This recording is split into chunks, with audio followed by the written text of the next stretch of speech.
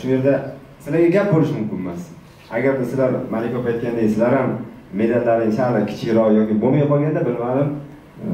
Rahbariyat qanaqa turardi bu yerda nimadir javob berardi bilmadim. Endi mana shu rahbariyatni milliy olimpiya qo'mitasi yoki turizm va sport qo'mitasi vakillari menimcha bitta maysarani ichida aytadiku sizlar qanaqa qaror chiqarsalaringiz ham hozircha sizlarniki to'g'ri kelaveradi-ya. Shariatga to'g'ri kelaveradi-ya deydiku o'shandek mana mana olimpiya e, o'yinlaridan keyin e, qanaqa matbuot anjumani yoki suhbat intervyular bo'layotgan bo'lsa ham doim aytyapsizlar e, ayollarimiz soni ko'paydi yoshlarimiz safi ko'paydi lekin qatnashgan sportchilar o'sha lekin natijalarimiz ancha pasayib ketdi oybek aka o'tgan galgi olimpiadada mana ana singlimiz aytgandek o'shani yarmini ham ololmadik.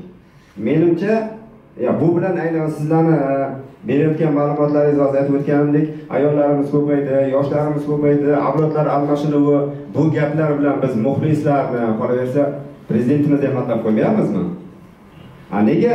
Men kutgan e, umuman e, jurnalistlar xalq kutyapti mana olimpiada o'yinlaridan keyin nega chiqib shunaqa javob bermadingizlar? Biz o'tgan gal o'n uchta medal olgan bo'lsak bu gal kamida o'nta olmoqchi edik. Kechiringlar bizni.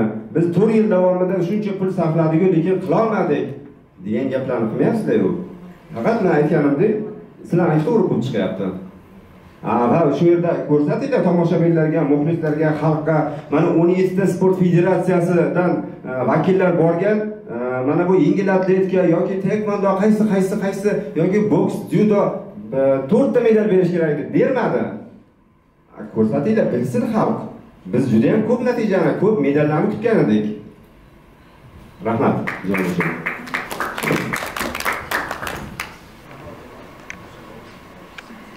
savol bor savolmidi tavsiyamidi savolmidi tavsiyamidi mayli fikringizni bildirsangiz fikr bildirdik hozir. Mirolim aka siz hammadan yaxshi bilishingiz kerakda hech qaysi sportchi hech qaysi o'sha delegatsiya boradigan odam o'sha natija yomon bo'lsin deb bormaydida. Bu uchun shu yillarki e, qilinadigan shu qaytamiz suhbatga.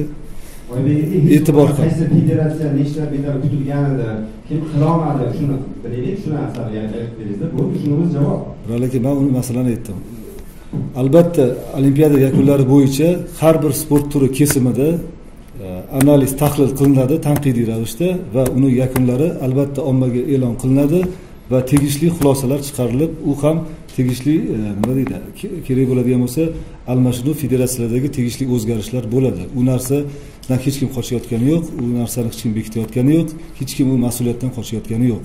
Lekin hozirgi kun kelib e, e, nima deydi siz juda oddiy anaqani aytyapsizda o'nta bo'lishi kerak edi beshta bo'ldi yoki nolta bo'ldi medal bo'lmadi demak almashish kerak. Buni hammasini keyingi olimpiadaga to'g'ri tayyorgarlik ko'rish uchun buni negizini muammo kattaligini baribir tahlil qilishimiz kerakda. Faqatgina hozir rahbar olib tashlab turib yoki e, trenerdan trenerni o'zgartirganlar masala hal bo'lmaydi. Balki uni e, muammoni negizi chuqurroqdir balki. O'shani qisqa ozgina vaqt bersanglar biz uni albatta o'rganib turib shu mutaxassislar jalb qilgan holda agar eshitgan bo'lsanglar muhtaram prezidentimiz ham yig'ilishda aytdilar kerak bo'ladigan bo'lsa xalqaro o'sha sport sohasini audit qiladigan korxonani jalb qilinglar va aynan e, sport e, tuzilmasini takomillashtirish bo'yicha e, taklif kiritinglar dedilar. Ya'niki o'sha jismoniy e, e, turizm va sport vazirligi milliy olimpiya qo'mitasi federatsiya oliy mahorat maktabi murabbiy o'rtasidagi balki hozirgi kunda ishlash jarayoni noto'g'ri bo'lishi mumkin. O'sha narsaga hozir sizga noto'g'ri ma'lumot berib qo'ymaslik maqsadida aytyapmanki ozgina vaqt bersanglar biz uni albatta o'rganib uni natijasini yana bir marta kerak bo'lsa ko'rishib yoki rasmiy bayonot rasmiy ma'lumot bilan chiqamiz.